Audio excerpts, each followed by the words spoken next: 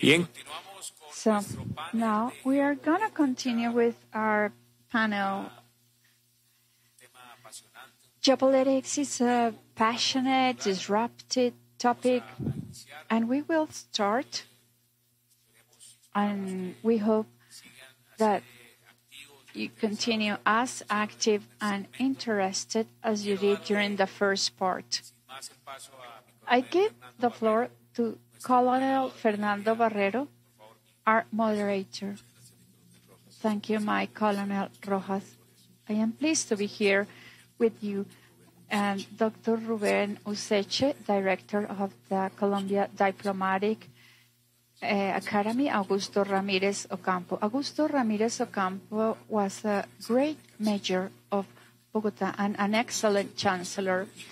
Magister in Diplomacy, Certificate on Diplomatic Studies, MLD, Magister on uh, Foreign Affairs, GMAP, uh, School of Law and Diplomatic, apologize for my English, funded by the Harvard University and Tufts, Tufts University, located in Boston metropolitan area, Massachusetts State, United States. Dr. Useche graduated in legal science, lawyer, and doctor in jurisprudence from the Catholic University of Ecuador consultant, highlighting the most important activities directing the uh, Boston College master degree. He, the lecturer of Dr. Useche, Civil Military Relationships. Welcome. Welcome to all the attendees to the lecture hall and to all those who are attending virtually. The floor is yours, Dr. Useche. Colonel, can you hear me? Yeah, good morning. Good morning, everyone. Special greetings General Luis Fernando Fuentes, Dean of the Nueva Granada University, and all the generals, colonels, and other members of the Colombian Armed Forces who are with us today. All the students, a special greeting. Also, I appreciate very much the Colonel Pedro Rojas and all the members of uh, AOD for this inv- invitation to share with you some reflections about the civilian military relationships as a boost to the Colombian di- di- diplomacy. I want to start with some reflection. October 7, 19, 18, 1921, first executive decree of the new government of Colombia, where created the Foreign Affairs Secretariat and War and Maritime Secretariat and these two ministries were two important pillars for the Colombian state. And this year, we are in the 200 years of our creation, and that's why I invited you to give the context of how important these two state functions are.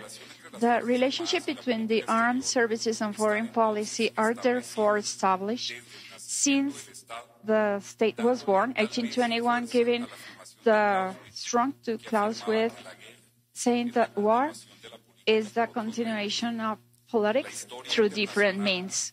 International study shows the deep link between legitimate violence and state building.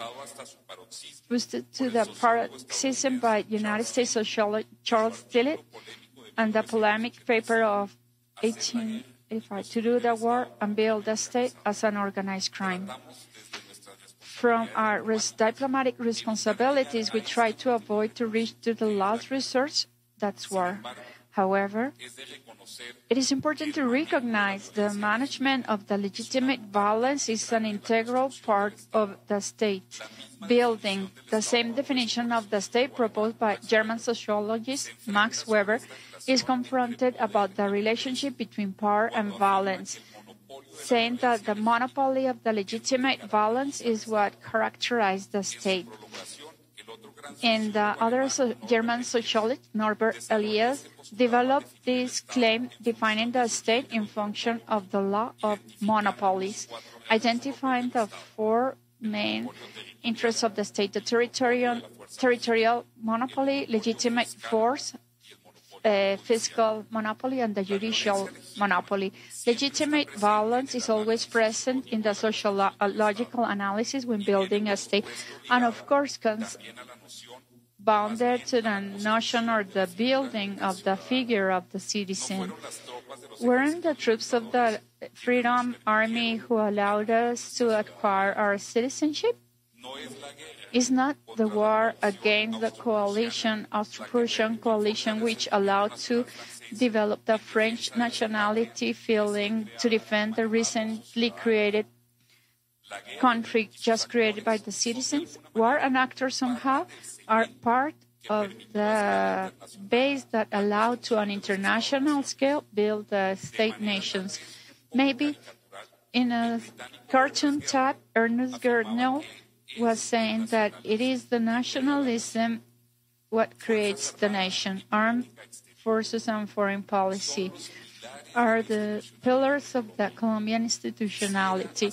And I would like to make emphasis Yep. of this conference, getting away of the theoretical initial consideration to go and talk about the foreign policy articulation with the representatives of our armed forces through the diplomacy. Specifically, the role of our military attaches in the foreign missions. I would like to break out the image disclosed around the world that the military attache is a gun seller around the world and try to show here that both pillars created in 1821 need to work together, representing the Colombian state around the world and working for the diplomacy and the common values that encourage us. The military attache role beyond the wrong images of selling guns needs to be focused in the next aspects.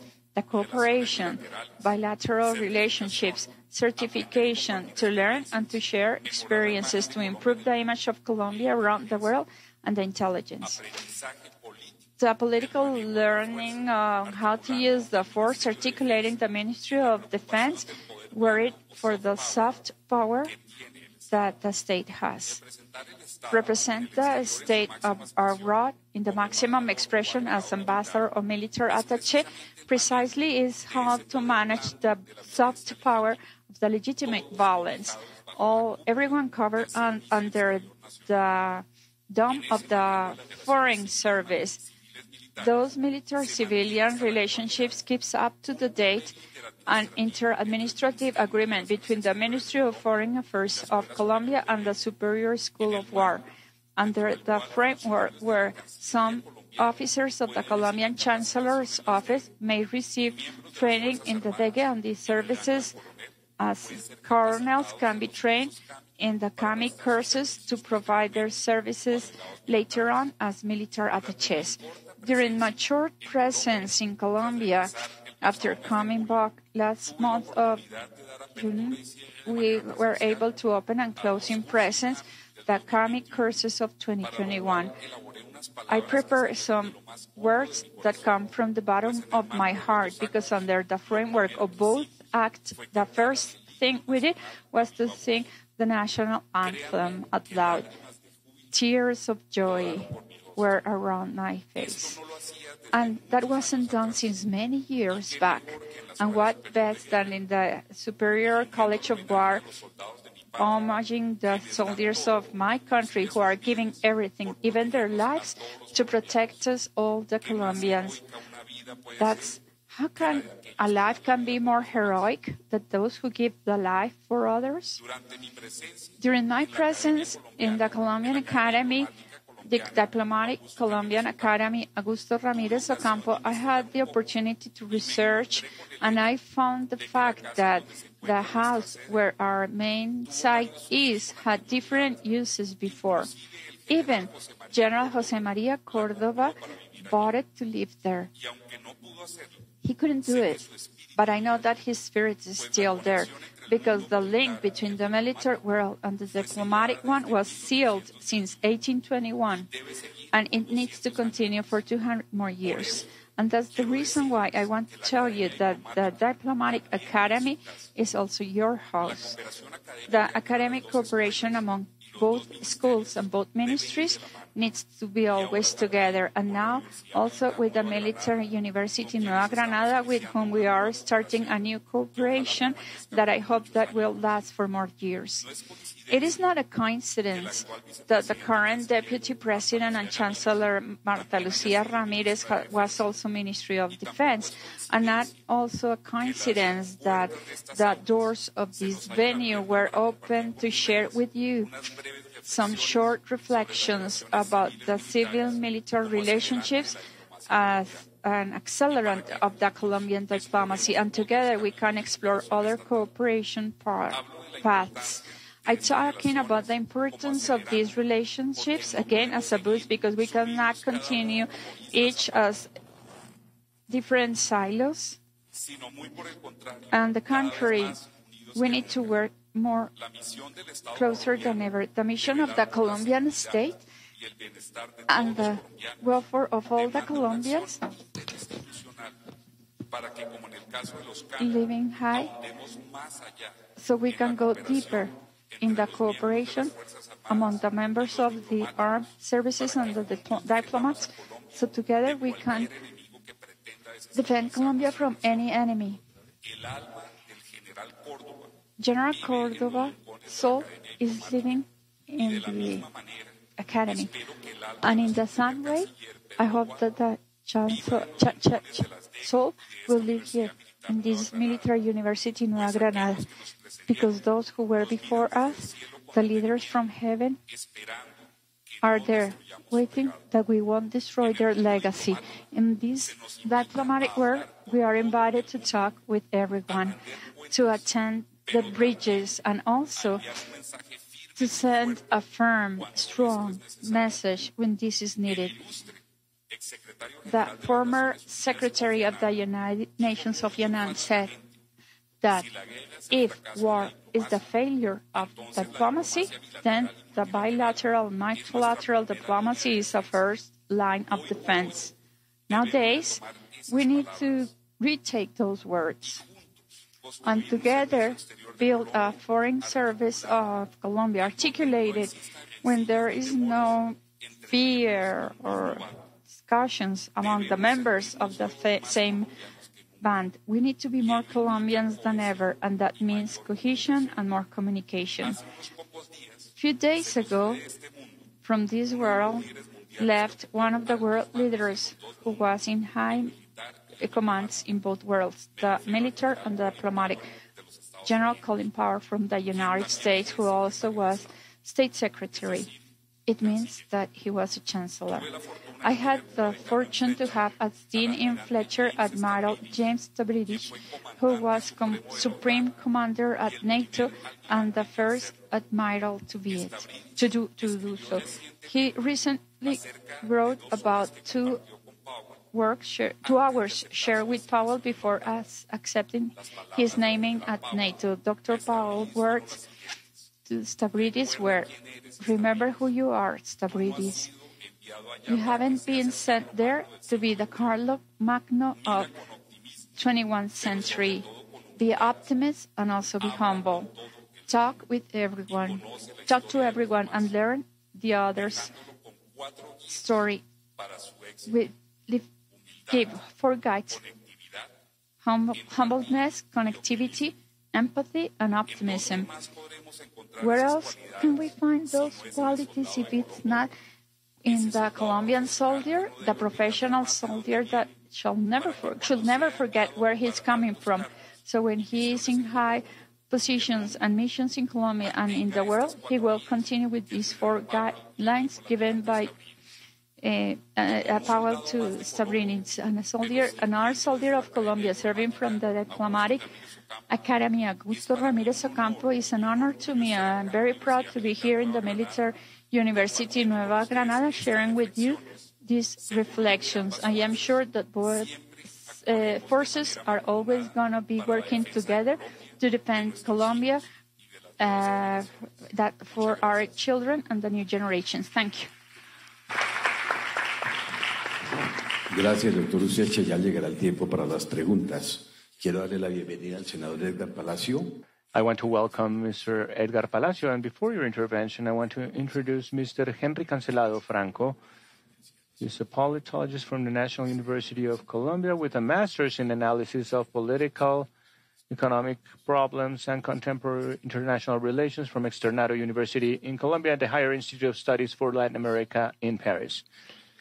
He has uh, honoris causa uh, degree on intelligence and counterintelligence from the National Army of Colombia. He was director of the intelligence school at the National Directorate of Intelligence. He has a PhD in political science from the University of Los Andes. He was dean of the humanitarian school. He's a graduate. I'm sorry, he's clearly not reading. Um, can, can be understood.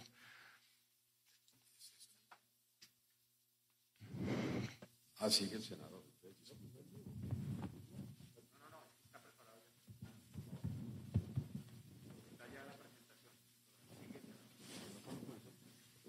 Pues doctor. Entonces, después de la confusión. So after this confusion of, of pages I've had, I apologize, but I am pleased to introduce Mr. Edgar Palacio Mizrahi, currently a senator, member of the Third Economic Commission and the Human Rights Commission of the Senate of the Republic, of which he was president. He was also he also chaired and founded the Commission on Childhood and the Political Allies of the State of Israel. He's a university professor in eh, philosophy, theology, political science, and international relations for over 20 years in different universities in the country. Honorable Senator Palacios is a theologist from the Theological Seminar in Colombia, and he has an honoris causa PhD. You have the floor. We are in this conference in person and online.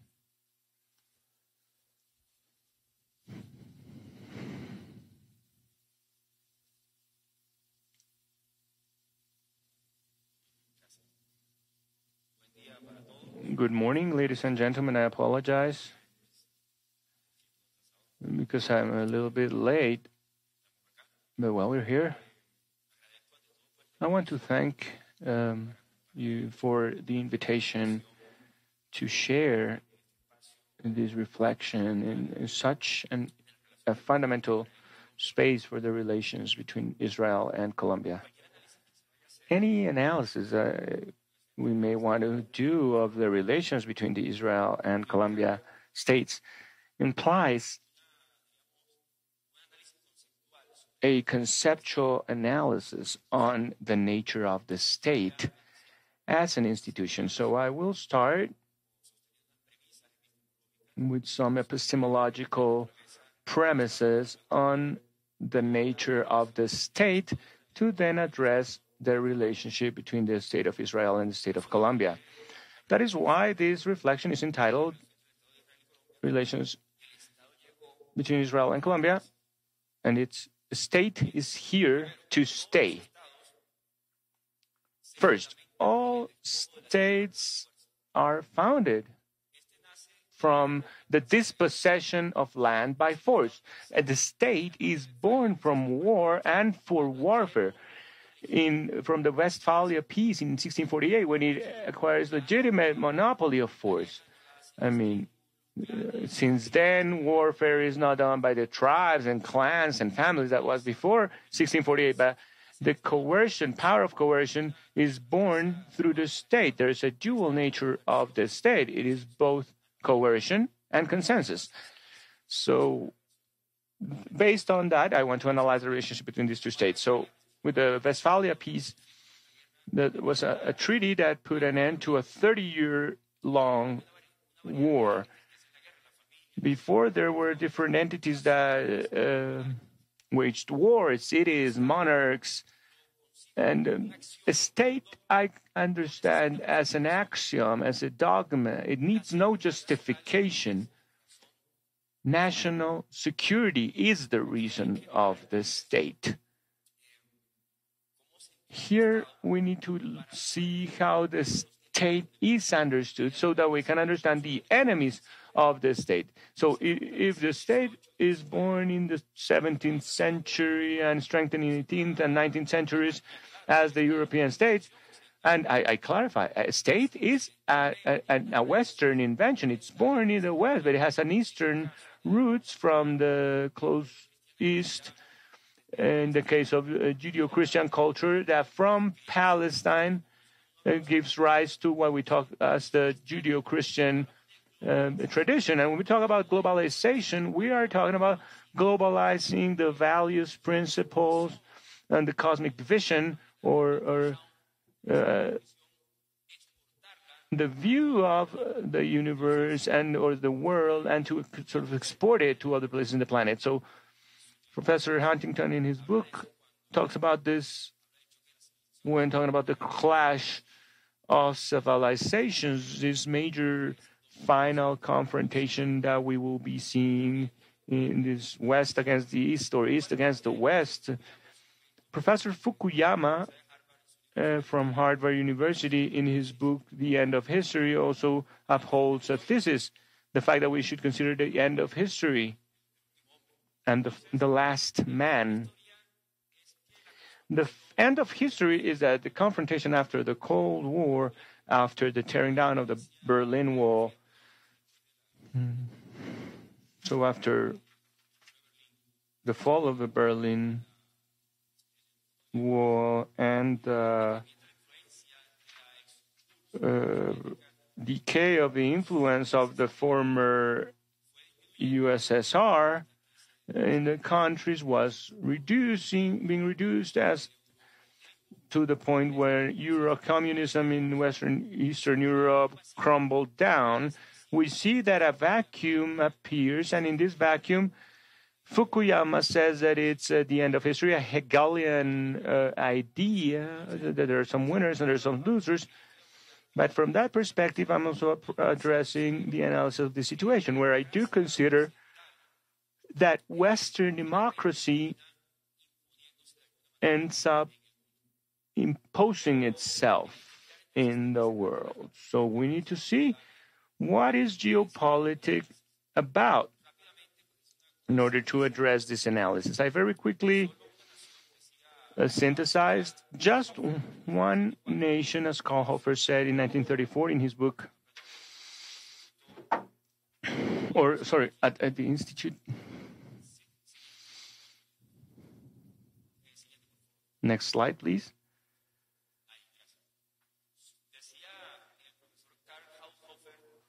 Professor Karl Haushofer, Haushofer in 1934, who was a German uh, general and director of the Institute of Geopolitical Studies at the Munich University, said, Only a nation whose space is in agreement with its needs, both material and spiritual, can ever have hope of reaching true greatness.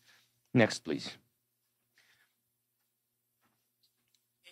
It is science, uh, summary, it is science of geopolitics that conceives state as a geographical organism or as a phenomenon in space. It understands state as a living organism that is expressed in the territory, the people, its economy, society, and government. It also studies relations between the land and political institutions.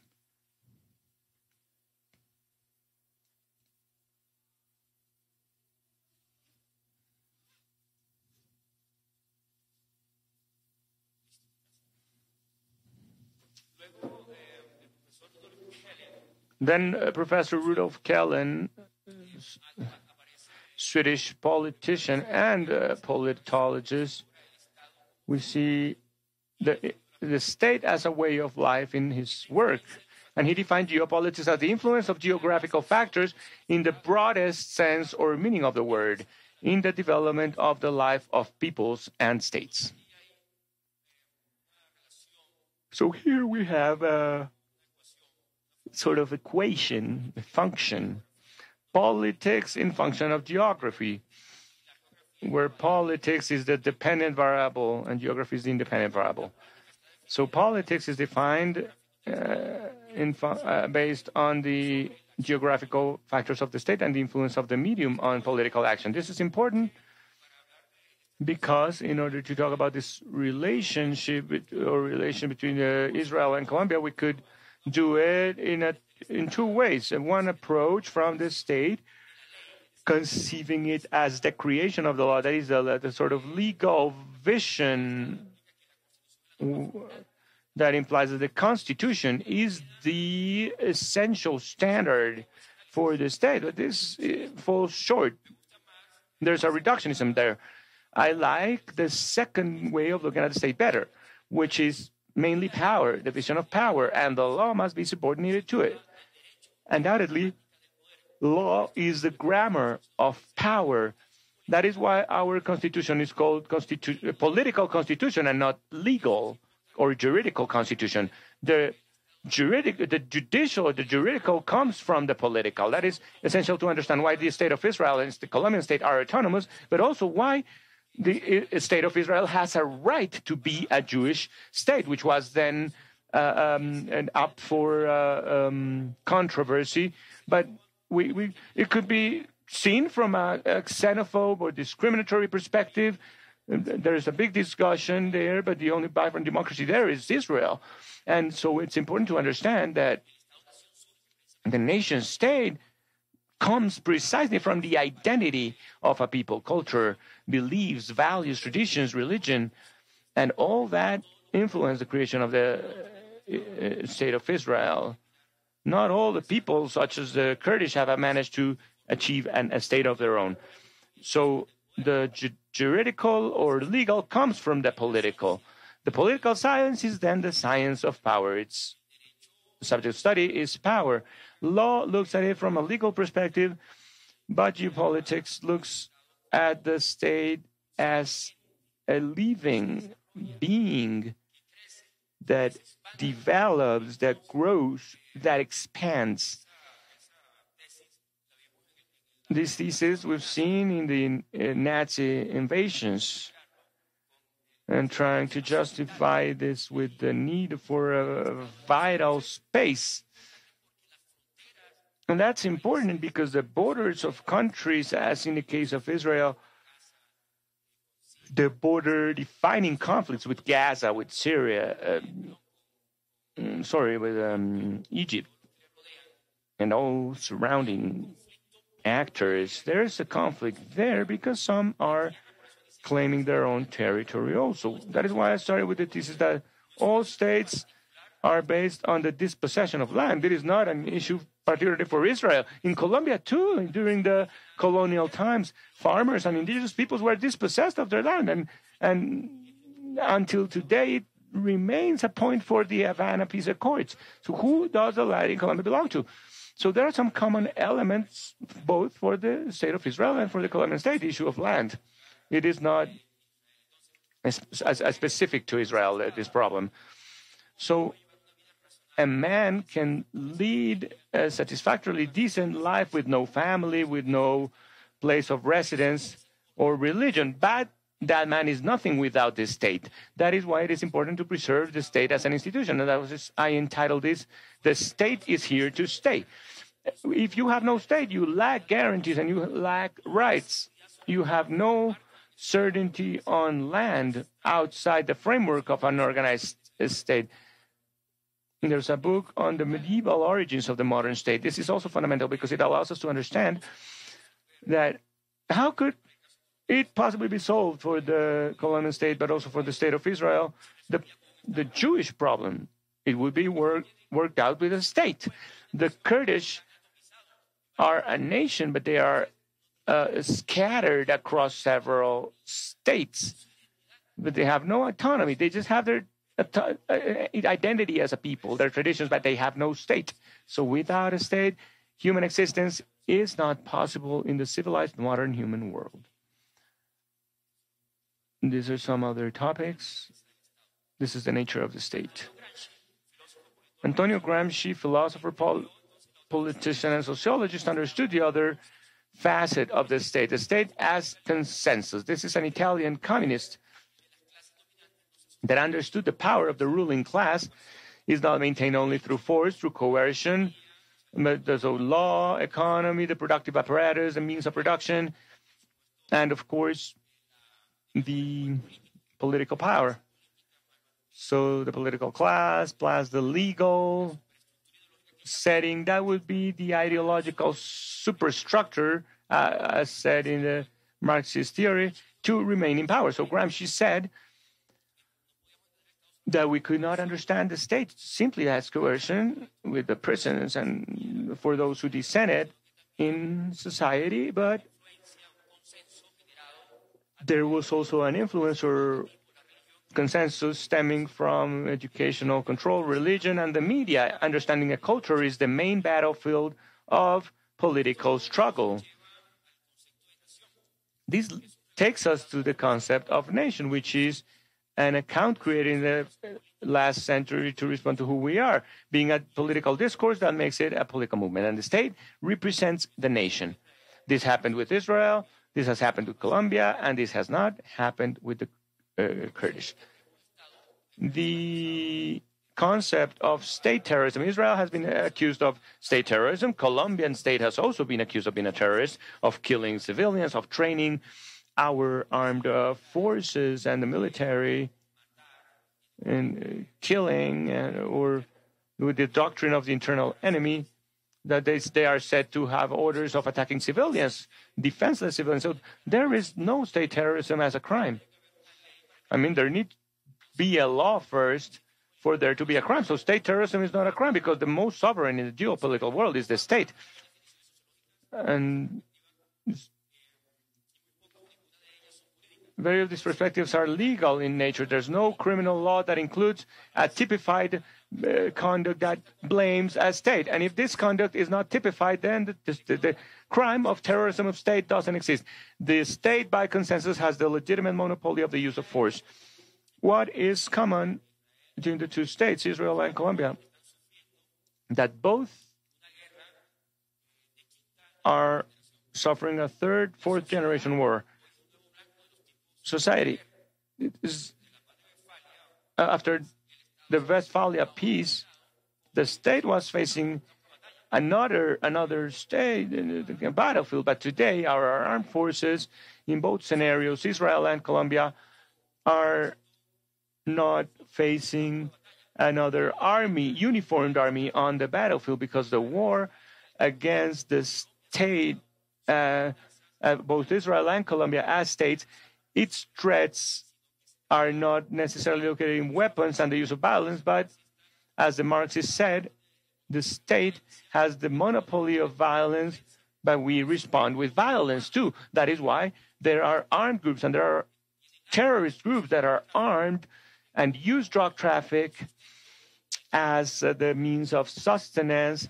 And there are two common elements between the Colombian state and the state of Israel, and the fact that today the Middle East conflict is, is close to us. It's in Latin America, in Venezuela, uh, uh, Hezbollah or Hamas cells that use Colombian uh, drug traffic schemes to fund terrorist groups and express political ideas and disagreement with the existence of and birth of the state of Israel. So there's a, a hemispheric security setting where the um, Israel and Colombian states have the drug traffic as a source of destabilization for both states. So we have a threat that is beyond Colombia, such as international drug trafficking. So the Colombian state is currently under uh, ideological and geopolitical attack of an hybrid fourth and fifth generation war guided by a, a Marxist anarchist uh, theory that views the capitalist state as its enemy has the mission to destroy.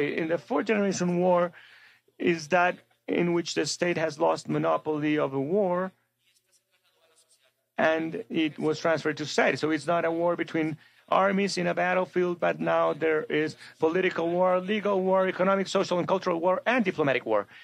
So uh, one of the professors was just sharing the importance of diplomacy. So, well, we try to avoid armed conflicts through diplomacy. That's fundamental, but it's also used as a mechanism if uh, the dialogue and consensus or political agreements don't operate. Then we can try to find some economic pressures, such as China does with the information on indebtedness, to submit countries, not by uh, invading states as such, but in fact um, obtaining a percentage of economy through uh, through loans that end up being unpayable, and China ends up dominating a state through business, such as in the case of Colombia, 6 to 7% of foreign investment in Colombia is Chinese, and the case of the Bogota metro, and so you start seeing more Chinese people around. So it would seem to be something very business-like, very economical, but but it's a, truly a fourth generation war, an economic war that includes strategic minerals, includes uranium and uh, rare lands and um, other elements important for technology development in Colombia that we have in in, Am- in the Amazon region. So we start seeing how both Israel and Colombia need to have a closer relationship in terms of science and technology because the greatest capital of Israel is its people, is innovation, is the human resource. It has no economic resources, no land resources or that are natural resources. It has water is scarce, but its weakness has become its strength. They've been able to live. They've been able to overcome as a state that, uh, despite all the opposition worldwide. And however, knowledge has helped them position themselves in military issues, aerospatial issues, and so forth. But we are complementary economies. We have just signed an agreement and uh, a free trade agreement with Colombia and Israel, and this free trade agreement allows for a strengthening of the relationship between two states that have common threats, uh, drug traffic, terrorists, and the, the experience of one can and should experience the other. So um, I don't know if those who someone asked before if the anti-missile scope can be useful. Yeah, of course, or drones, or neighbors. In case of Venezuela, that's a potential threat against us due to the Russians and so on. To export that revolution to Colombia, this is stabilizing the Colombian state. And if we have enough batteries, anti air batteries or missiles, so therefore, the national budget for the next government will need to start thinking in the national security, how we're going to do. And that's for us key Israel because they have all the expertise in terms of Air Force. They have been working also with the Colombia. We have some of their aircraft. So we can create our own aerospace industry for national security matters in terms of technology, trying to keep uh, uh, a launching base. Israel has their own launching base, so we can learn from Israel and to do the t- trans- transfer of technology. We already we are already trading coffee, coal, but also we can receive and invite different Israel entrepreneurs to come to Colombia to invest here and to have some public-private partnerships in terms of the with the state. So that is a broad free trade agreement of last generation that will help us to strengthen these bonds, and that's the first step. President Duque is going to go there to open the trade office, commercial office, to um, concrete this agreement. And we also need to strengthen the political relation, making political decisions in the Colombian state to strengthen our relationships with Israel. And we are the main partners in Latin America, I think, really. And also we have many common things. And in terms of recognizing Jerusalem as the capital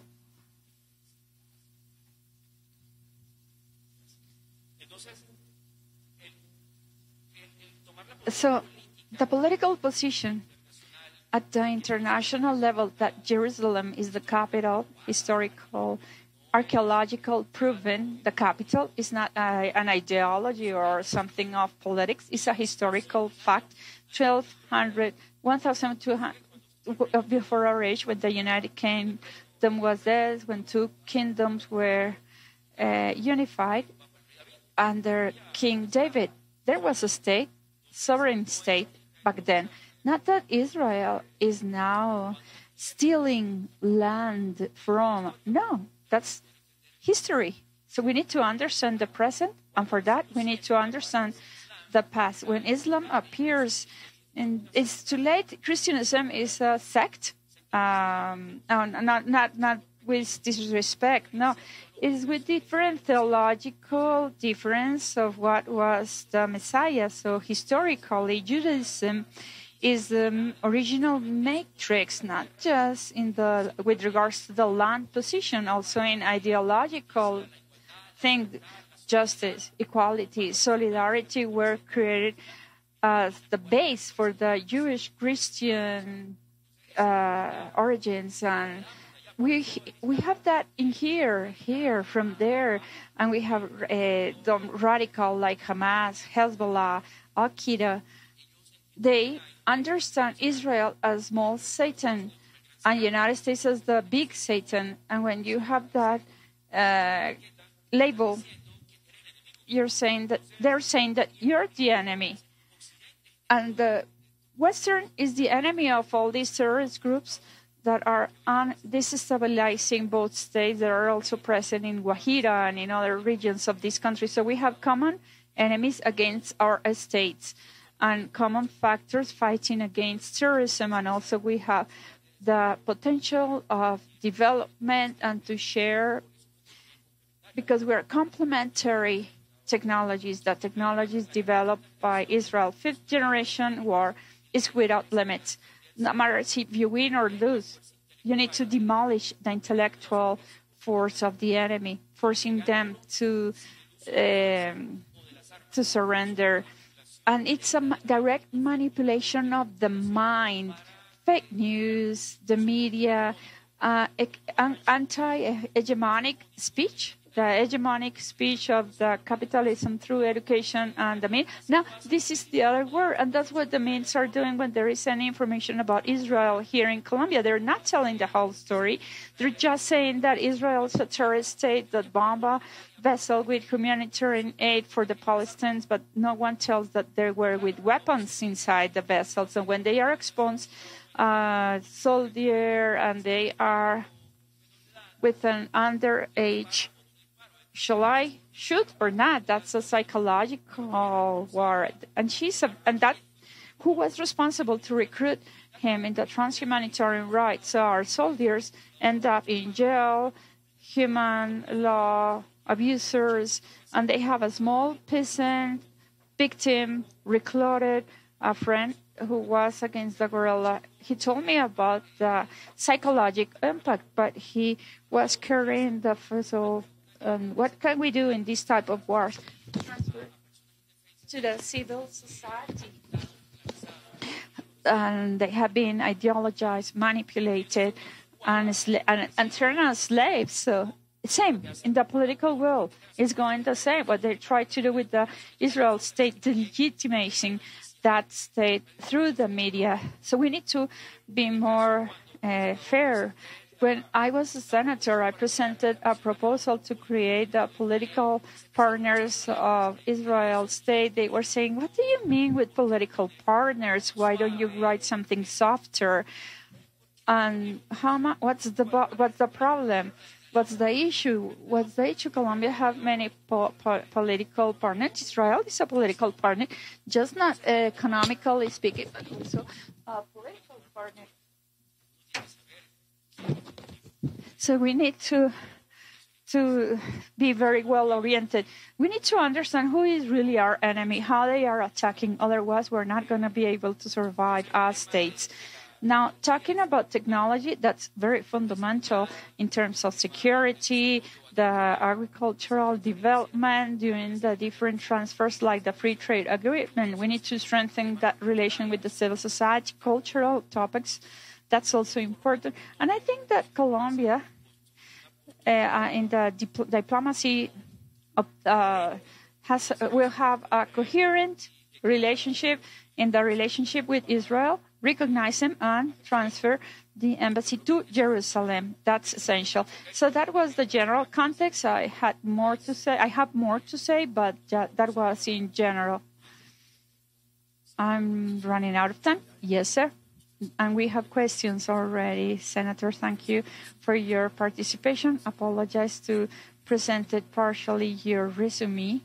And he has published two papers in, uh, in indexed uh, magazines and many bills presented by you. And one is the fundamental human right to vote by the public force. And that will be another roundtable discussion Now you have the floor, and I have questions for all of you, Dr. Useche and Senator and Dr. Cancelado. Thank you very much. Professor Cancelado was my professor at CIDENAL Integrated Defense Course. Yeah, he was my professor. Very brilliant, very brilliant professor.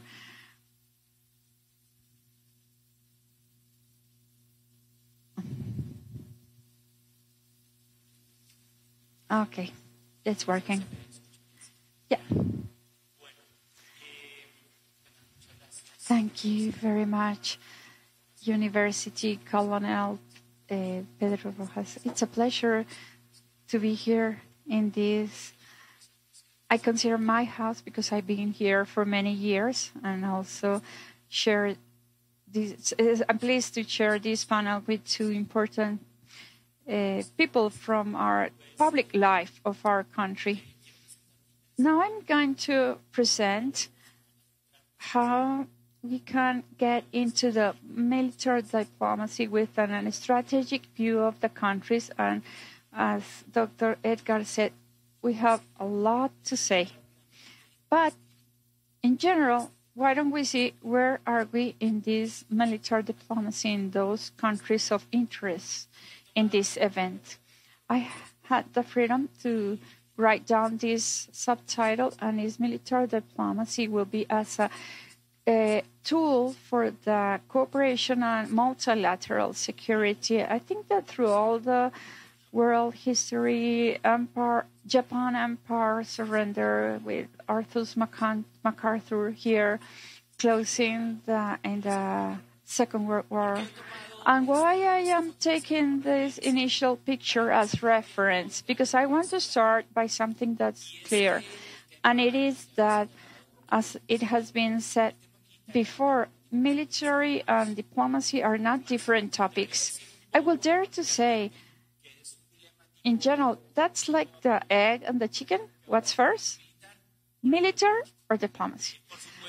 Of course, with the professionalization and the development of the states and the Western states, each takes divergent paths in the daily practice, and that makes that's making that the military and the diplomacy that will take different lines, different agents that match permanently, permanently get together. Through that history, they go apart, then they get together. And from the ancient times, we can say those big diplomatic councils, they were all generals in the Middle Age who are signing the victories or defeats, like this picture here. Military leaders, gentlemen, and there is a a close relationship between both areas, but within the positive concept of the ever bureaucracy we need to develop bureaucratic aspect differentiated by the complexity that implies contemporaneous diplomatic relationships. I imagine that was very easier to be the empire, uh, the, the, the Roman emperor, emperor than to be the president. He was taking all the afternoon free to go and share with friends that was very simple. No, no, no, no, no, a whole powerful empire. But to be the president today is more complex. International relationships are more complex. The international system is complex, and the complexity is around the military and the diplomatic space. So, in that sense, let's take back as concept, not as practice. It's clear that the practice is uh, not a way through history, but let's go back to the military diplomacy. This can be defined as a set of activities developed maybe by the representatives of the state, uh, the defense entities, State Department, Ministry of Defense, any portfolio of this type, and any other state entities or defense department, sorry, in order to protect the interests of the state in the field of defense and politics based on the use of the negotiations and our diplomatic instruments. This is from Erik Pajtinka from Slovenia, who has been working a lot with this. But during the 20th century and 21st century, some institutions appear that seem to mark a space of diplomacy parallel to what we consider the public one, proper of the chancellors and the ministries. And then we have some multilateral agreements that have been very strong and are strengthening more and more, like the case of the NATO, the counterpart of the Cold War that was part of Varsovia. Yeah. And we have internal ones of terms of defense and national security. And let's say that each multilateral agreement is adding the variable and who is in charge of managing the scenario of the diplomacy are some the military services, civil authorities, and uniformed men in charge of security and defense. And then will be appearing the concept of military diplomacy. And our concept used here in Colombia by Vicente Torrijos from the school, uh, College of War Diplomacy of Defense. is broader, but we're going to see why can be, it can be broader. There are three basic action lines.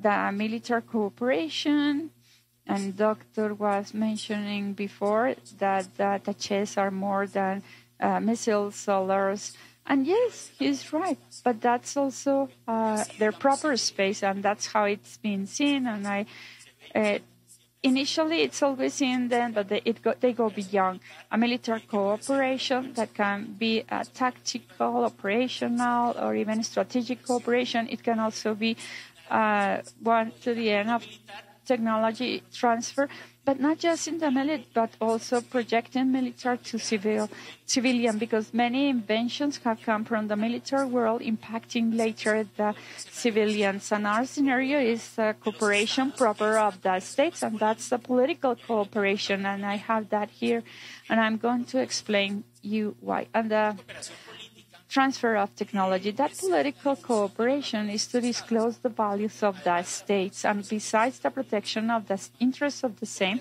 through the diplomacy, to build multilateral networks of dialogue, promoting the creation of different blocks of interest. And what's a block of interest? Many professors, many from the academia and politicians today are using the new Cold War.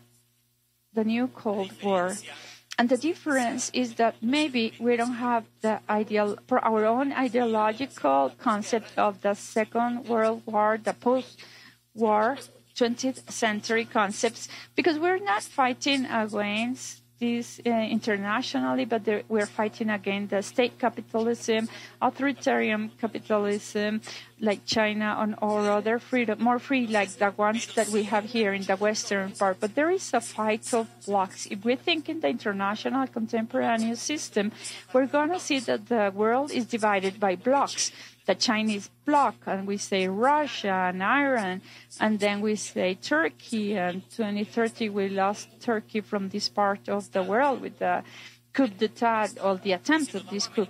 And we go to Latin America who are in that bloc. Easily we can say Venezuela, Cuba, and Nicaragua. The largest embassy of Russia in Latin America is the one in Nicaragua. And we are not taking attention to that because Nicaragua is kind of in a crazy way trying to find political opposi- oppositors and behind that behind that there is a portion of next tension due to the proximity to the other powers in the region. And in the other side the other blocks yeah of course. Who will be the united states bloc the NATO, the if you uh, for the European Union, Latin America, and then they will say Colombia. So the world is divided by blocks, not marked ideological, but of interest, and that interest created for the defense from the multilateral to defense from the multilateral. Why? Because the power reached so far, and Second World War is the perfect example of that. The military and economic power developed by the world is so broad that it's not enough for one country by itself. It's not enough. Also, it's, is not, uh, one country is not going to be able to make it. Around 1,300 aircrafts around the world, um, around 3,000 vessels, making the United States a military power of high power. But on the other side, there are secondary powers that are going to equal in the middle term, not directly the same power. I think that one is going to have 13,000 uh, uh, uh, fire aircraft, but strategically they can position in the international system. Then appears what we call the large uh, strategy from the English uh, capitalism. That's Liddell Hart, how the countries are moving in the international system through this big strategy. We have uh, André Beaufre from France and uh, Germany. So they're talking that there is a total strategy, a political strategy, the large strategy. I like more the approach of the French because there are four areas diplomatic, psychosocial, economic, and the military one within the general strategies. The thing is that the military strategy is not exhausted in the exclusive uh, option of the operational, but it's part of the large strategy developed by the countries and helps to what Beaufre would call the total strategy or the large strategy. So in this analysis, we can uh, get over Clausewitz. Clausewitz leaves it more like the strategy, like a classic one, and the political apart because uh, Clausewitz was taking a look to the continuity between the political and the military. Both really hard are putting them inside the military, the military inside the political part, and everything is going to a total strategy. So we cannot take away the military from how are just strategically no strategically is the countries are positioning in the international system. And i'm going to repeat not just in the military but also in the operational part. And what why is it because there is a new context with new challenges as dr edward was saying there is a transformation of the elements that are forcing to an adaptation and a transformation of the institution which all of them the military and the diplomatics key from the contemporaneous world, geographically marked from historical events. As I was saying, we cannot we can talk about a new Cold War. What are we talking about today? The globalization, the internet, social media, and now the social media are the paradise of the propaganda. Why? Gramsci did that theory because they studied the Nazis, and Nazis were the uh, magicians of propaganda. Yeah, they make up all the political market with large public, uh, advertising deployment and the quote of lie, lie, lie. And from the lie, something will be left. And then it's hard to fix that up. So social media is doing the the delicious of what's going on today. Well, the next one, the environment degradation. We're all using our mask. I don't think that there is much divide about what's going on with the environment and that zoo, zoo, zoonosis, uh, natural, um, taking us more and more to different phenomena. They say this is the first of many let's say what history tells us that in fast changes in the economy the crisis of containers and vessels right now in the united states crisis of products trades inputs economy is growing others decreasing the economic transformation the economic system. Products of the pandemic yes but china for example. Demographic evolution, hard to sustain, and the economic power you were mentioning, strategies based on the economy. And there is an important book here. War by Other Means. So they talk about the economic part,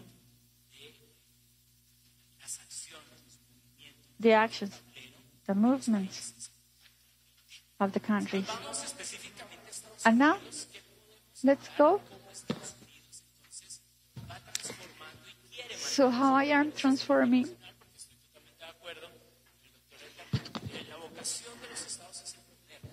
that, that, that, I'm sorry, um, I lost the mic. They're trying to fix it. I'm trying to take it from the venue.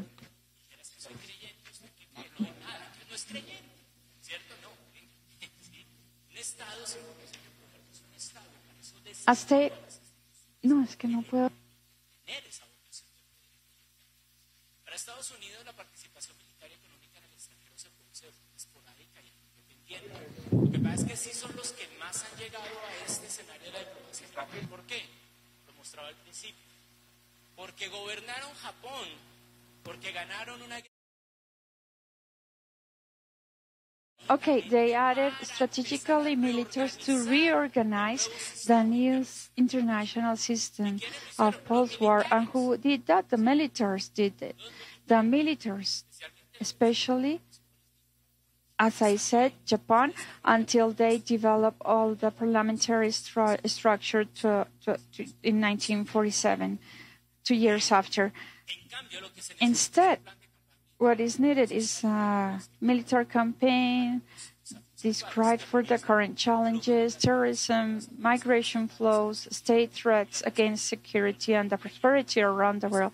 And then we are talking about development and economy. We cannot understand economy and development of one country or any block of power without the participation of the militaries. And I think that the pandemic has speed that up because who, logistically speaking, had all the capacities to support their countries to contain the pandemic, the military services of every country. And we're going to see that for the case of Israel. So to continue with this position in a new age of competition uh, in the big potency, the United States needs to continue investing in the world and being committed with the growth of security and stability uh, abroad.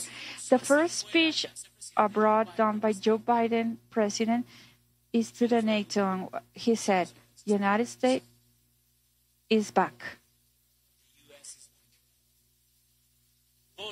Because you cannot conceive a United States diplomacy without the context of the European Union and the NATO because they are the main partners and he has they have partners in other areas as we but we cannot compare our influence and power capacity in the international system like the one of great britain french and france and germany. We work for this complex of security the regional one here in latin america. And same as the marshall plan done with respect with the Soviet Union with this effort to cooperate, to help. That needs to be done also to Africa and Latin America to leverage uh, to shore areas that are in the United States and all the partners in Europe. This Colonel Evitz, fellow of the uh, Brookings Institute, and the military members are thinking strategically the movements and the projection of the United States for Israel. Appears the division of the international cooperation in the strategic planning of cooperation. Fortalece pues toda esta, todo este escenario de la, de la diplomacia militar, ¿sí? Eh, y... And for them, that's inherent for the planning and the operational execution. So, okay, part of the whole operational exercise is tied, or I will say the military diplomacy is also tied in that exercise of the execution, um, operational planning and execution. Let's go to the all schemes of comprehensive action by 2030. That was what will be a non-kinetic effort the use of the military for the development and to strengthen the civilians' capacities, diplomacy in this case, excluded? No, no, you cannot exclude it because the services will, forces will do anything. Not one thing good, not the other. So it's a process of support. The uh, General Brigadier Defrin, uh, director of the Division of International Cooperation in Israel Army, they said that they have focused to cooperate with to achieve missions and different objectives. The force is trying to keep the operation preparation, acquiring medical equipment abroad, and preserve the foreign relationship. All that avoiding the propagation of coronavirus. They were talking. He was talking about that moment, precise, and why here Colombia developed the own operation, San Roque operation, and also supported that effort. That effort was coming from abroad. We needed to bring everything to support the civilians. We needed to develop new spaces of integrate comprehensive action. Therefore, the forces could support in a good way the civilian military relationship, specifically for coronavirus. So I was saying the pandemic speed this scenario up because when eh, eh, some of this is a catalyzer, pandemic was a catalyzer, geopolitical speaking of everything that could happen in the world in five years, speed it up to one year so, on the other hand, Colombia is a country that are permanently doing efforts to be more international, international in an effective manner as a relevant actor, and with the sector of security and defense is not away from this effort, and that's the interest of different international actors, in which Colombia, with the military services uh, forces, already know, and it's important for the current world instability for the so-called irregular threats that seem that have Jack to the modern state not as a concept but also as a reality. So what do I mean with this for the Colombian case? Colombia during 60 years in the last stage developed uh, a lot of adaptations and capacities that the world needs because the world is transforming in this uh, conflict. And we abandon the scenarios of war or third generation war and according to William Mean classification. So in some moment of time in uh, a course here, I was saying, okay, Normandy type operations, we're not going to see that anymore. That was back then for the 1944, but that not necessarily means that the military need is not there and that they're not going to be threats and that we don't need that uh, actions from the military pact, but those are the ones, the irregular threats. Today, there is just one regular threat with an option of a conflict, and that's Taiwan. But both powers are deeply being prudent because they know they don't want to fall in what Graham Allison calls the trap of we are growing so far, so much, and we are being so powerful, we need to confront for the world power and more the Pacific Basin, and then uh, that first Japan, second will be China. But Colombia developed those capacities already. Colombia developed capacities, work capacities, but also diplomatic capacities to obtain to, uh, military diplomacy, to obtain aid, one of the most important plans, and that will continue forever in the military story, history. That's Plan Colombia. Foreign policy focus precisely to bring help to and a military effort to materialize those aids in on a specific plans. And I want to finish right now with the quote that comes from Colonel Pedro Rojas in a, an article in El Tiempo we are referent forces and we can share our expertise so other countries can confront in a better way the transnational threats and the organized crime. But also we need to broaden the spectrum of opportunities to acquire new capacities and training with teams and systems that will make us more interoperable, uh, aligned with international standards and with a focus in the defense of sovereignty and the integrity of our territory. Military diplomacy and the public di- diplomacy of the states is because it's a bridge and a door because it opens to take what the world needs from a country to a specific block, but also opens so we can bring what the country needs from the world, the cooperation and the partners. And that's all for my part. Thank you very much. Thank you, Dr. Cancelado, for your talk, that makes me remember that there are some experts reassessing the judicial power, executive power, and legislative power, and instead include also the military power, religious power, and the private company power. That's an hour roundtable, but we have a question. Senator Palacio, how to minimize the attacks to the legitimacy of the military services through the networks and the media. And about things, Ministry of Minister of Defense in the social media presented something, and everyone went over him. Other proposed to regulate the social process in the social media, and he was silent. Uh, he, uh, what's your position about this? Let me see. Okay. The quote of the new enemies of the state is to use our democracy to finish the democracy. The strategy precisely is to be immune to any response from that state, not just in the military aspect, but in the media also, because as soon when you're in a democracy, in case that there is a tweet or some or delegitimating them, they will pray again uh, because they call for the freedom of expression and the violation of their rights. And that's why it is very important the education and the political culture, and that way a state can be legitimate. Because my rights reach when to where yours start. So I think that regulation helps, yes, but it's not the end solution. It will help, but also there needs to be a limit. And I'm going to be more radical here the ideological limits need to be presented. Some doctrines that don't fit in a democratic state. Germany, for example, Germany, you may have some Nazi beliefs. Yes, the state is not going to be against your beliefs, but you cannot create a Nazi political party or a Nazi ideology with the pretext of democratic.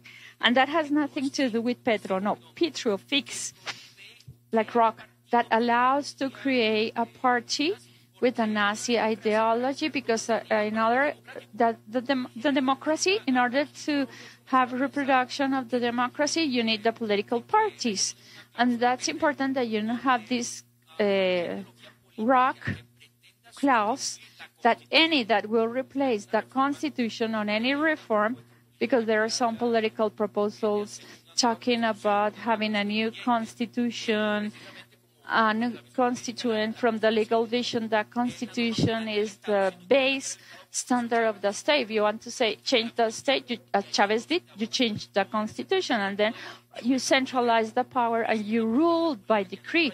And that's uh, something that's going there, like a bill, but we need to block it. But they are attacking not just from the networks, but also from the legal and the political. And for that, we need to forbid and not just to limit to the limit in a democracy, because the democracy has limits. Your right starts when mine ends.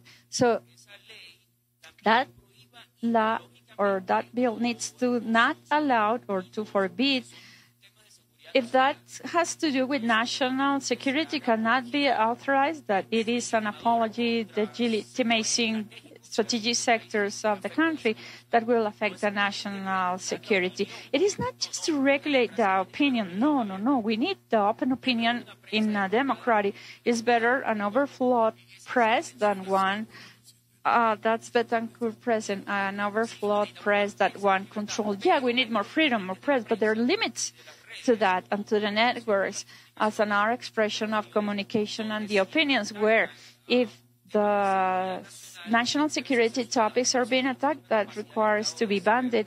And we have the cyber defense uh, state, the technological capacity, and with Israel, who has advanced so much in those topics of the Western Triangle, I'm sorry, United States, Israel, and Colombia, geopolitically speaking, we are there. Europe, the, that depends in general from the North American one as a bloc. But the ideological limits need to be established to those ideas that affect the national security. Thank you, Senator. And this one is for Dr. Cancelado. What would be the projection of the power vocation uh, between Colombia and Israel in each region? And what would be the role for the military forces in each case? Yeah, excellent. I share that there are deep similarities among both countries, at least for the case of Colombia, that we have gone through 1832 in re- retiring, losing water, losing land, losing other things. The Nicole 3 in at Hague Court were closed. So I think that the power vocation implies two things, and we don't need to explain everything that has been in Israel since 1948 up to today. I think in the former question they asked Palestine, Israel, and the attacks, and the last questions. I think that there are two key elements, and first of all, to stand the ground, stand on the ground, to present your position. There have been some attempts from the operational military operation, and as politologists, I believe that the attack to Raúl Reyes in Ecuador, uh, that, that was a political message. The military is not political, no, cannot be electorate, but it's deeply political because the Colombian state has some values, and those values are political elements.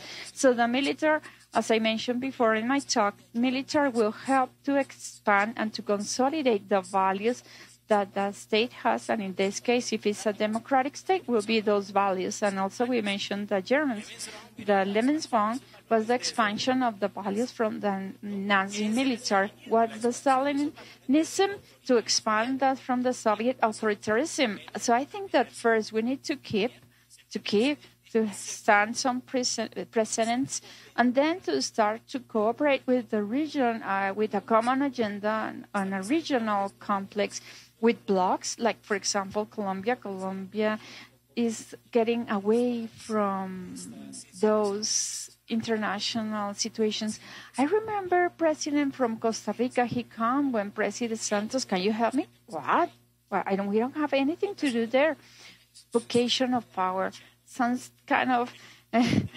it's strange, but we need to have that vocation. Israel has proven that they kept, and whenever they could, they went to the offensive against their immediate enemies. And we think the Six Days War and these are historical examples two key elements where the military is deeply compromised.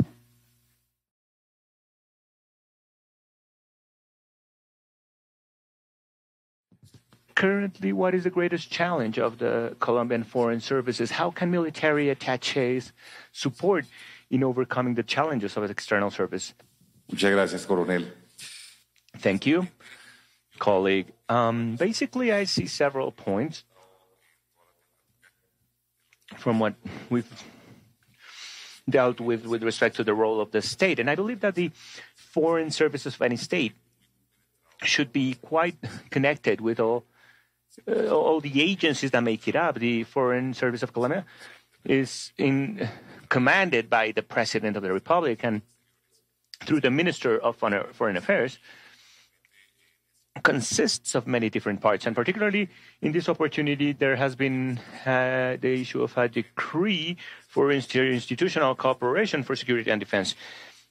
In that context, it's important to highlight that new dip diplomats, if in 200 years we were educated classically under traditional diplomacy with elements that allow an ambassador or consul to face uh, tradition in international relations, I believe that from all points of views, we are going through a unique moment in history where diplomats need to have the adequate competencies to interact with their peers worldwide through the use of technologies.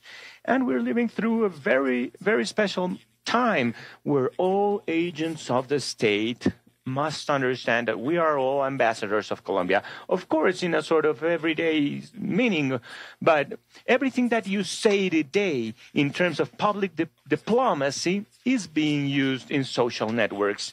As the senator was mentioning, we are living through a very special times. Como dice el profesor Cancelado. And as Professor Cancelado was saying, this has been accelerated. The fact of having to react when facing a need that I believe is in inviting us all to create a cyber force of security and if at any point in between the world wars the air force was created to in order to have technology with all the things that uh, that, that it implies i believe that we're going through times where we need to have state intelligence in the brain of the state, which is uh, the, the, the for Ministry of Foreign Affairs, that is integrated with all, so that we can defend against all the enemies of the nation. And under that consideration, I believe that diplomacy, dear Colonel, is the mechanism that precisely defines what Kofi Annan was saying, the first line of defense of the state. If it fails, uh, it's as the Americans say, we when you only have one hammer, everything looks like a nail. So uh, we need to be very prudent, be very diplomatic in the future with the adequate skill sets. I'm going to ask last question to Senator Palacio, and after uh, the senator, I will ask uh, Dr. Cancelado to close the event. Your question, my question will be, what is your opinion about the notion of post-truth? How can we prevent uh, decision making based on post truth. Uh, can you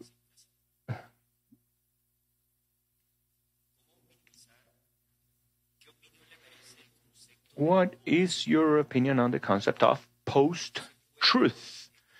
How can we um, avoid a, a discourse based on this on the conflict in Colombia?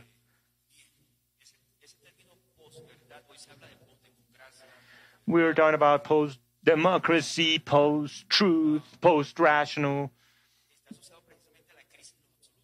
And this is related precisely to crisis of absolutes.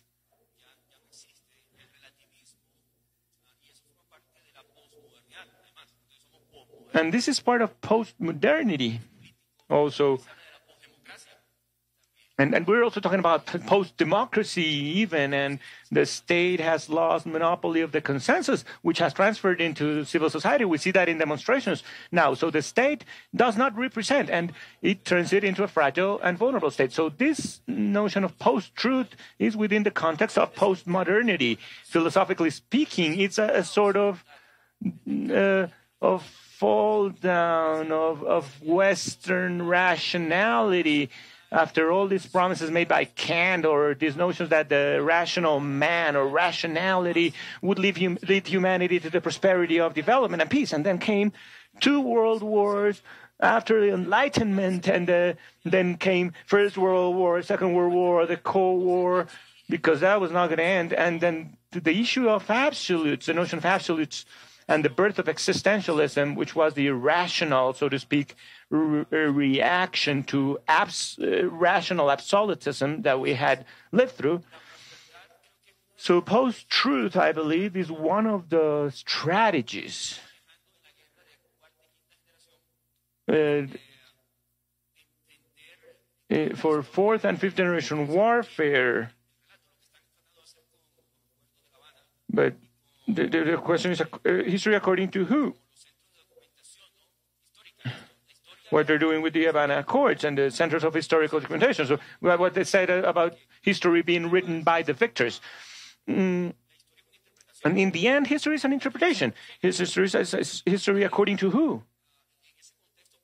So there's a war within that postmodern uh, context. And then we, we, we see the creation of meta accounts. And that's how post truth comes up. Then there are micro accounts or micro stories. Everyone is generating their own discourse and trying to represent their own identity and themselves. So I say, how can we prevent that from happening here? Well, there needs to be an official source. The state, I insist, the state cannot lose neither the the monopoly of coercion or force, nor that of consensus. And uh, so the historical memory must be written down by the armed forces, must be written by the state. I mean, the political and the military. I don't know why they are stigmatized so much. I mean, if, if, if, without army, there is no state. I mean, what is the independence of war, of countries? War. States are born from war to wage warfare constantly. So the, the military cannot be separated from the politics, and and it's a de facto issue. So who is it that writes down history? Who needs to create the accounts?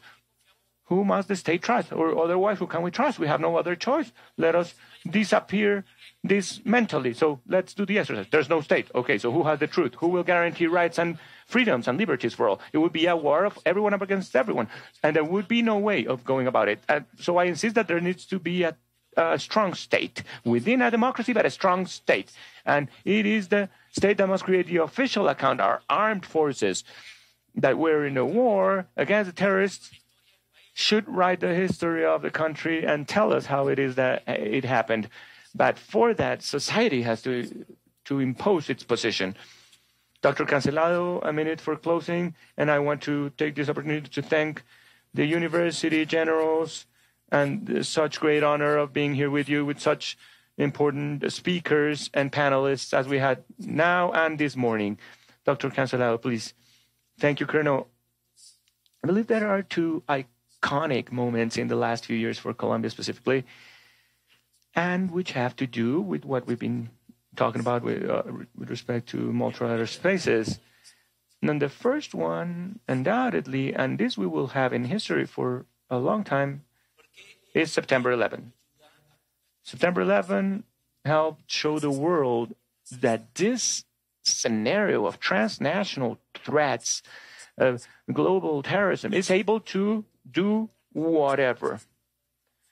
And then we see the reforms of NATO in 2009 2010, which is thanks to that opening and understanding of NATO. It's not that they're changing, it's not that they're expanding their partners, but it just starts understanding that it needs to create alliances that are peripheral also. That it needs to have eyes and ears in all the international system. That is where Colombia also can tap into that. And in 2018, we become strategic partners. So I believe that the notion of the title of challenges and opportunities for Colombia and NATO allies is perfect because what we continue to analyze here are the challenges, but we are not alone. Colombia has understood that its problem does not begin, nor does it end in Cauca, Caqueta, or Llanos regions. It could go around the world, and we're seeing it increasingly with the transnational threats that we have from of different nature, from drug traffic to terrorism, as was pointed out here, and as we've we've already had uh, started receiving uh, foreign actors that we didn't even know about before. So these spaces for academic reflection are the ones that allow us to sit down and particularly start uh, shedding off the fear of talking about uh, allies, of talking about Colombia in the international setting, particularly for those that are not within public diplomacy, because that is uh, the, the setting of public diplomacy. But we also need for diplomacy to show us that there's a whole world to conquer in terms of, in diplomatic terms. And this diplomatic includes the institutional and I believe that all these efforts are very valuable because that's where reflection starts that could eventually develop a whole line of thinking for the country.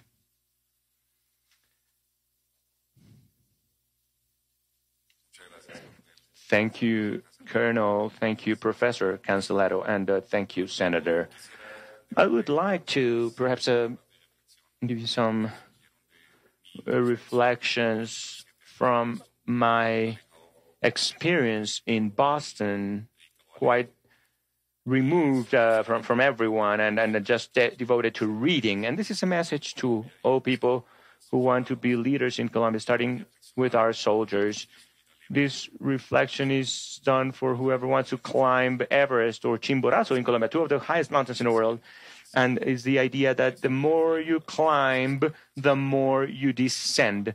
And I am referring to one of the phrases of Colin Powell uh, to the, the person who was my dean, and it's about humility. If you want to lead a country, a region, or the world, you start by leading yourself, and you start by doing introspective work to be able to then lead others. Others. Thank you.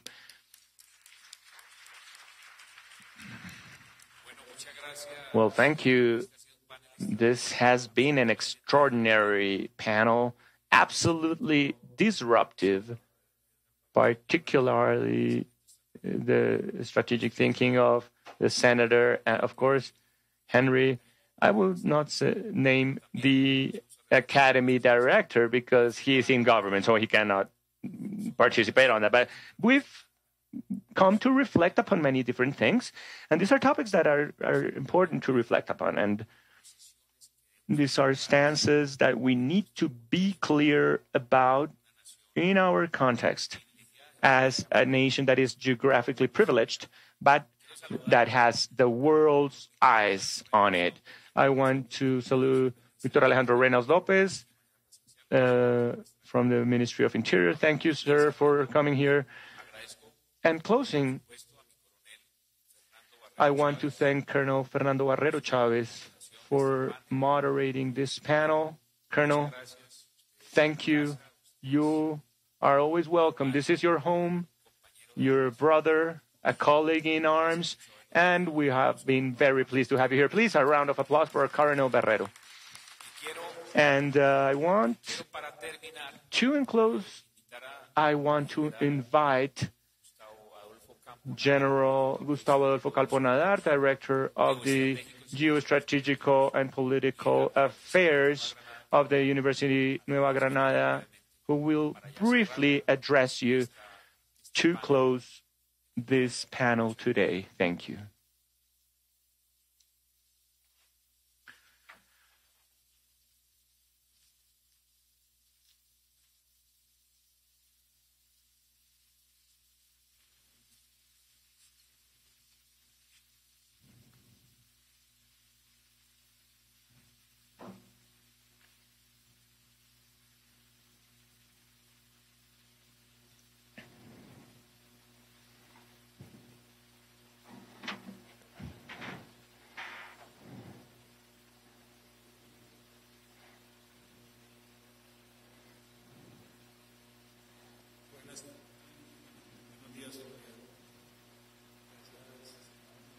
Good morning.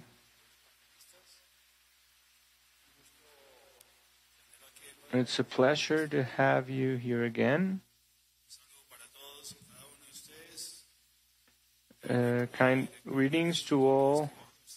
As director of the Geostrategic Studies Center and on behalf of Brigadier General Luis Fernando Puentes Torres, I want to thank you for your presence in these three wonderful days. The Granadina community and all the people who have accompanied us from the Army, the National Police, our Air Force has been present, uh, officers, non commissioned officers, teachers of our military university both in person and online. To each of the members and internal and external of officials of the Dean's Office of uh, Law and International Relations. We always had General Robinson here with us and Major Dusan, the Vice Deans, and all the students and the body of generals and admirals. I, I, we also had the participation of Admiral Jesus Alvarez. We've had great participation from the Granadina community, from other institutions, and quite a, presence online from the different academies. Uh, the professors that have participated today, both national and international, have engaged the interest of other students who have been logged in. And uh, Colonel Pedro Rojas, thank you for this great preparation of this symposium and for your organization. Know, as organizers, that this type of activities are not easily organized. In this case, a, a, a hybrid thing, uh, both virtual and in person, which requires significant effort from a technical group at our university, of which our Director of Educational Resources, Aurora, along with her team, who are always behind the stage or behind the scenes, are uh, making this possible, making the live broadcast possible, and even with all the circumstances and obstacles things go well. So these three wonderful days leave us lots of learned lessons. And if you will allow me, I want to thank Dr. Ofra Graicer uh, from our great sister nation, Israel, for her presence these three days. Lieutenant Colonel James Green, James Green, Lieutenant Colonel Grant Martin, Professor Michel Mastroni, Dr. Edgar Palacio, Mizrahi, that would be Eh, Mr. Ruben Useche, Colonel Fernando Barrero,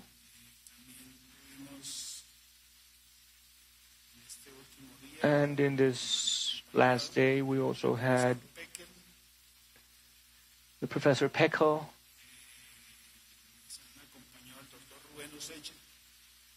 Ruben Useche,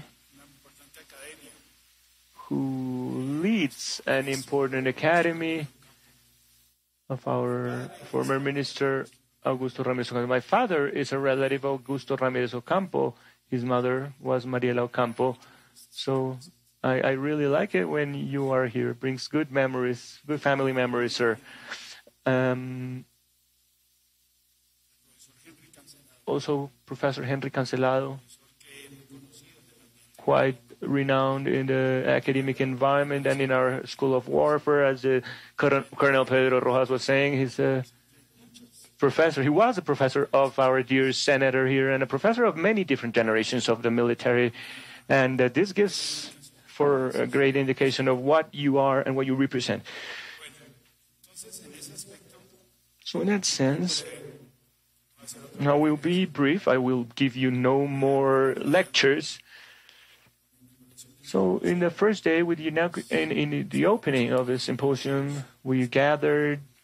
We had uh, the academic community headed by the president. He could not be here because of other activities as uh, as president of the university, but he did give us some opening words for this important event. And and in respect to presentation of Ms. Graicer, Colombian military thinking from an Israeli perspective, a critical and disruptive perspective, she first presented the uh, operational design system from Israel, its advantages, and the way that it has molded the Israeli uh, uh, military doctrine. She also showed us some elements of disruptive thinking. And uh, as we know, Colonel Rojas loved that. He always tells us, and we were in discussion activities, he always emphasizes on, on trying to make us think a little bit more. And that's always very important. What must be taken into account in the tactical, operational, and strategic designs. Having left uh, this Israeli model clear, Professor Graicer applied this in the military context of the Colombian armed forces, showing their vulnerabilities, but also stressing on the strengths of the country. Finally, Professor did an analogy of Israel and Colombia as countries that are targeted by terrorism, by irregular warfare, by irregular armed groups, and its implications in the design of the national strategy, focusing, of course, on the uh, activities of Israel in the region. In the second day, Professor Ofra Graicer would give us a great presentation again, now uh, called Current Challenges for the Israel Defense Forces from an uh, operational design perspective. During this presentation, she starts by showing the way in which the international political environment affects implementation of the operational design of the Israeli Defense Forces, emphasizing on the political change in the United States, the Western weakness, the weakness of certain international organizations, the fatigue of the nation state, and even moral fatigue. Thus, having explained this, she managed to us a dimension of the of international actions of Israel, whether in its relations with Israel, uh, with the West, as well as with other political blocs, as Russia and China, as well as with other threats of a hybrid nature. In a very recent case, there's a, relation with Azerbaijan, showing how changing international politics are, always showing the interests and the intentions of its rivals. And uh, second, uh, Colonel James Green presented the challenge, the, the presentation challenges for implementation of potential perspectives for the National Colombian Army. In this presentation, Colonel Greer showed the challenges for operational design. Among these challenges, he talks about the origin of the strategy, design thinking, the methodology of military thinking, and the design of military education. In, conclu- in conclusion, the Colonel's presentation gave us a perspective on operational design and the way in which this should be thought about, which gives us an efficient method for operations design in the, on the battlefield. And third, Lieutenant Colonel Grant Martin presented a dissertation on the operational design from the U.S. perspective, where he included a dichotomy between irregular and regular warfare. With these concepts, Colonel Greer considered that operational design needs to take into account the ways of doing warfare and designing strategic and making strategic designs that can really have a, a positive impact on war. As an, a main example, there's the conflict of Afghanistan that this officer was uh, involved in and he participated there, but where there was no clear integration of the disruptive kind of thinking that we want to have in this kind of wars. Finally, we had a presentation of Dr. Michel Mastroni with his presentation, The Tension Between Organic Design and the Methods of Established Design. The professor, Canadian, uh, presented his research that seeks to consolidate an effective operational design for the Canadian Armed Forces and organic designs. To achieve this, he seeks to integrate international experiences of Israel and the U.S. However, he quite emphasizes on the need to integrate the elements of each of the countries in formulating these designs. In conclusion, he presents his design as one more to be considered, but he always recommends thinking about the fact that design could improve or impact Colombia. Third day, uh, Professor Peckel analyzed the uh, political triangle between Colombia, Israel, and the United States, big allies. In this presentation, the professor showed us how the three mentioned states, despite the fact that there is no consolidated alliance as such, he showed that the three states implicitly have their own interests that bring them together and create an adequate relationship of alliance. Among these commonalities is terrorism, whether from uh, the Colombian armed groups, drug traffic, or the or the enemies that have affected Israel and the United States. And thus he concluded that the coming closer of these three countries allows for activities, uh, joint activities against these threats. Afterwards came uh, Dr. Ofra Graicer in her presentation, Israel and Colombia Perspective as NATO global partners. She analyzed uh, NATO as a whole, using Israel and Colombia as the main actors in the failing of this macro alliance of, of nations. In this critique, we can see an uh, open rejection of the use of war, despite the fact of situations such as that of uh, Belarus and uh, the situation of the United States as the hegemonic leader of NATO, uh, all leading to a tension between the national interests of leading NATO states or and and and Colombia and Israel.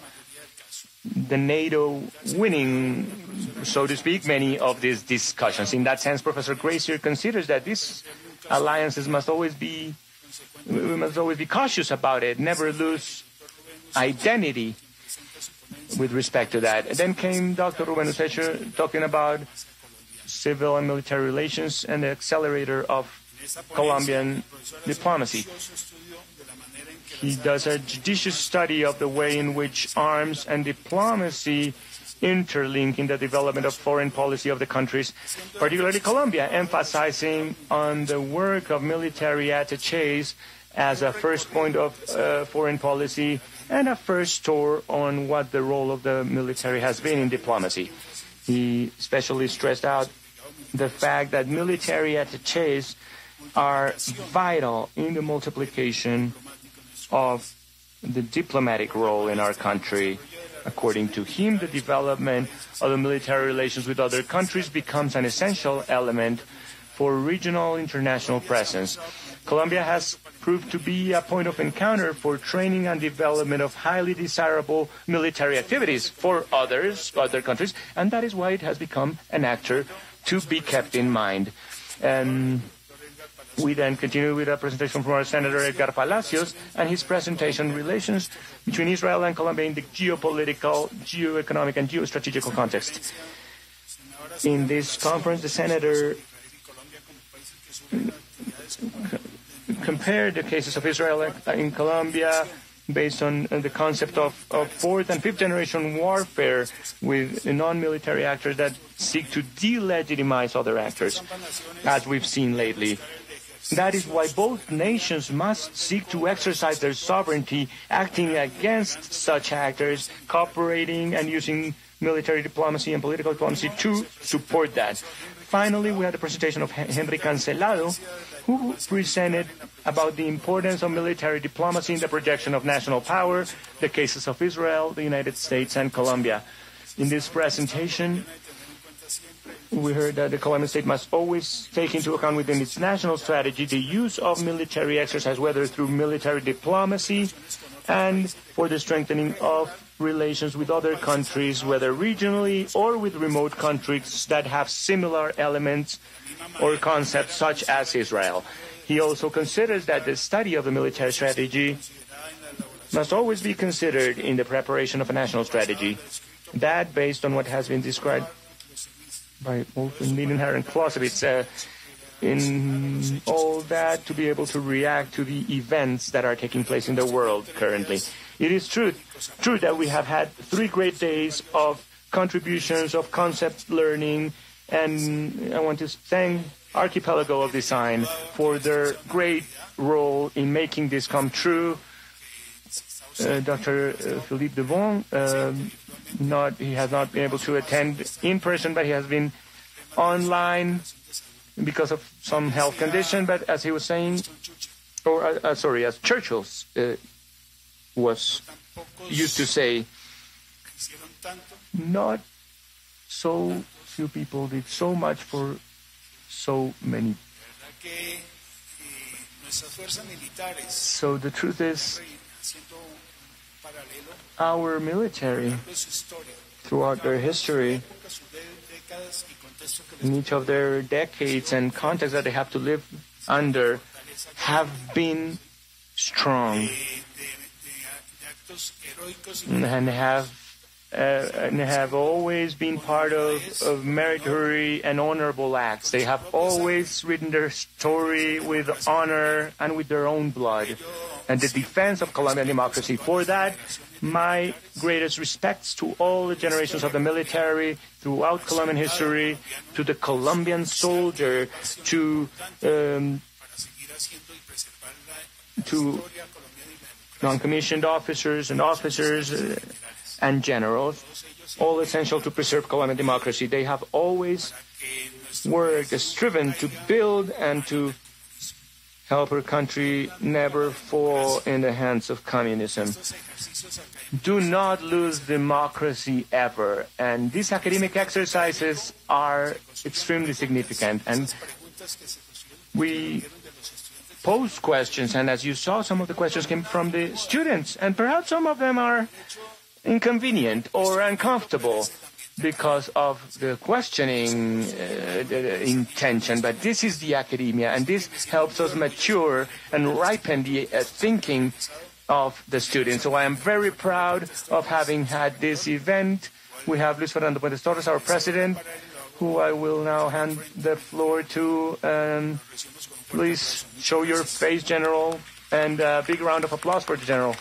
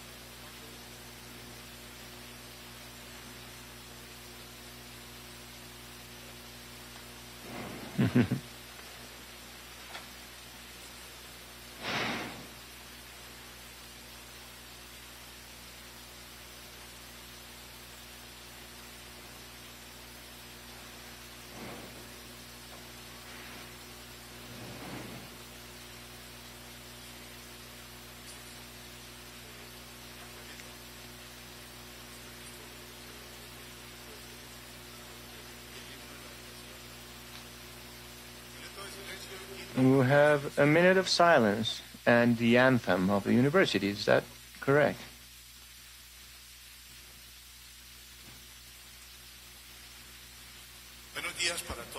Good morning, ladies and gentlemen, and I apologize for not having been able to attend in this event, this closing event, because for us, this academic event that we are finishing today is very important.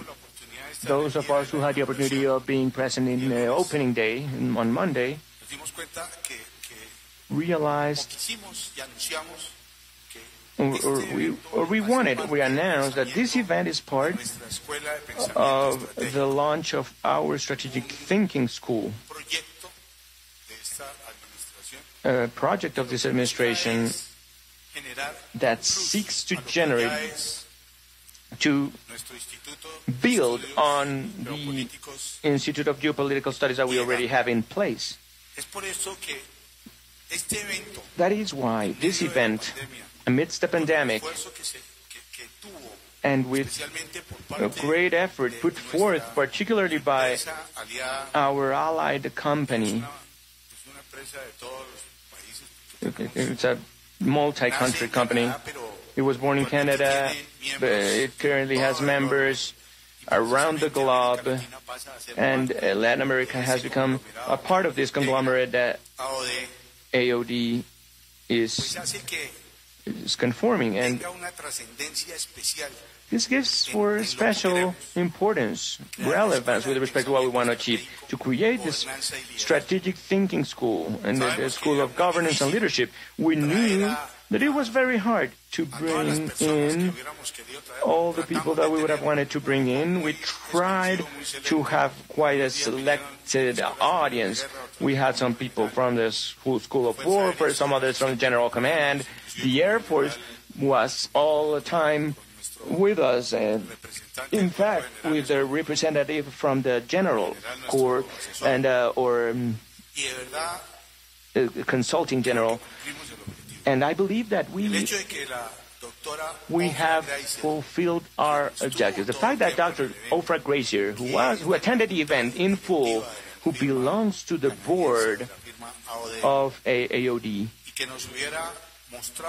the fact that she could share all her knowledge with us with respect to the operational arts and design was very valuable for us. Undoubtedly, gaining this perspective of uh, of generals from Israel who have some aspects in their story that are very similar to ours, the time of, of struggle. She was giving us a great comparison yesterday when she said that we are both islands amidst a, a hurricane, a, a, turmoil of violence.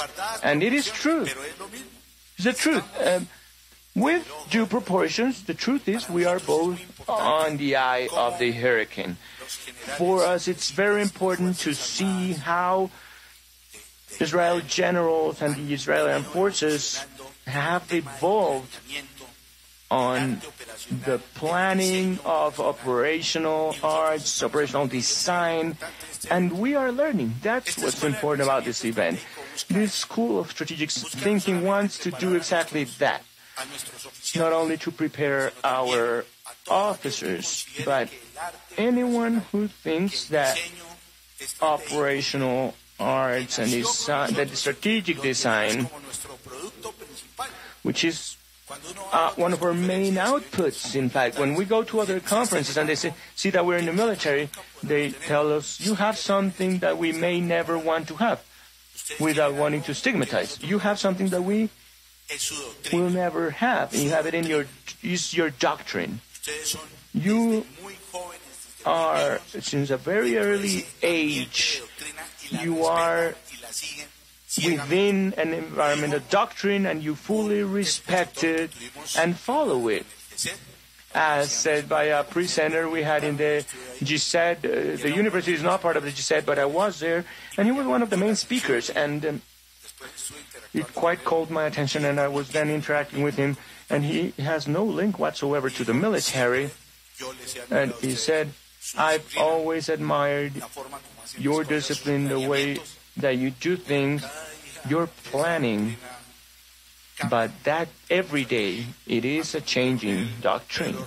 We have Colonel Pedro Rojas here, an expert on that topic and who had to manage the change of doctrine in the army, which is being copied by our brothers and sisters from the Air Force and the Navy.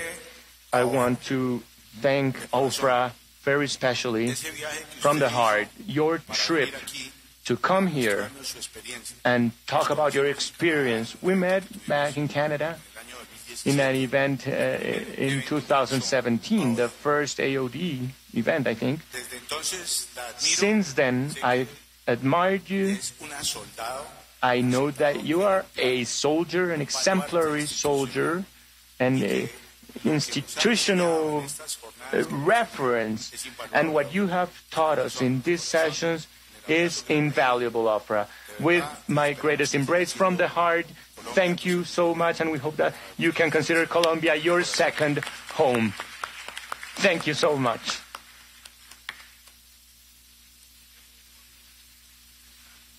We were uh, colleagues back in Canada. I also want to thank Honorable Senator who is also of Jewish descent and as a senator, a candidate for the presidency and who is close to the military.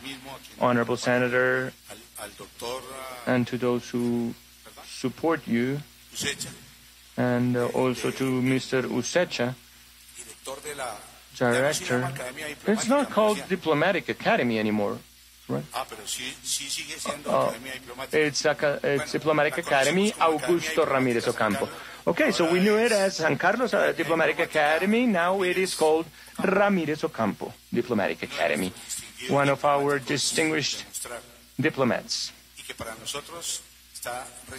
who has just and, and Useche, Mr. Useche, you know you have a strategic ally in the university. It's an honor to have you here with us. And to all of you, I want you to take the best memories of the military university. We know we will continue to meet in this academic setting because it's an everyday uh, road and journey, and we're here by your side, working for a better tomorrow, for something that we can leave our children, so that they can truly say we left a valuable legacy, not as it happens oftentimes, and as it has is happening in these chill times. Maybe that notion of, of, of thinking that I could have done better and I didn't. So this is a part of that. This is part of this training that we are living for those who will go after us. The military university has that motto. We need to keep the flame burning, the torch, which is the conveyance of knowledge and wisdom. I will not talk about something, drill on something that will uh, be excessive perhaps, but we will be op- uh, opening a, a, statue in Cajica branch or the Cajica campus of the university. Is that statue? This was not prepared. I had not prepared to show you that. But this is the, the transmission of, of knowledge between generations. It's uh, American sculptor Anne Hyatt Huntington gave it as a present to General Franco after the Spanish Civil War and he ordered to put it in the main square of Complutense University of Madrid. And it's quite imposing. It's 8 meters, 8.5 meters tall, and it's a marble statue. We are going to create a replica of that in the military university. The graduates, of which I'm part, will leave this as a legacy for the new granadine generations. Possibly next year you will be finding about this uncovering of this uh, sculpture. It's two Spartan warriors, one agonizing in his last breaths, dying breath, and passing the torch to another Spartan warrior. This is no exception. They were always naked, but this guy is riding a horse that represents technology, knowledge, innovation, and he and the guy who is down is passing the torch of wisdom. So that's what I'm telling you. We need to keep the flame alive and we need to convey this to the next generations. Thank you very much to all those who attended. It's been a true pleasure.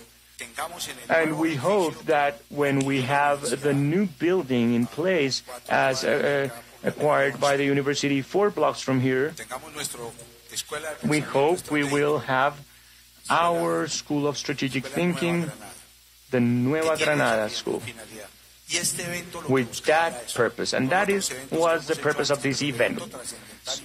The main event of many with this purpose.